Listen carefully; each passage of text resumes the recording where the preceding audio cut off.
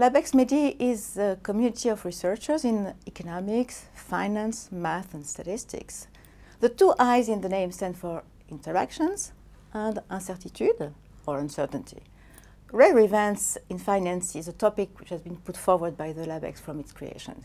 It is therefore natural for the LabEx to sponsor such a great uh, conference organized by my colleague François Longin on extreme values in finance.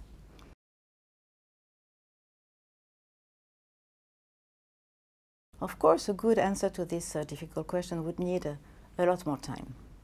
Well, to make it short, on one hand, financial agents often take excessive risk, especially in hard times. For example, banks may anticipate that the state has no choice, but help them financially in case of financial distress. They may therefore grant excessive credits, since the losses will be covered by the taxpayer. This behavior may, of course, amplify the crisis. This is why a natural regulatory response has been to impose higher capital ratios to banks. But this, in turn, may have dramatic effects on investment and employment when all financial institutions simultaneously react by shrinking credit. So the micro regulation might not be appropriate from a macro point of view.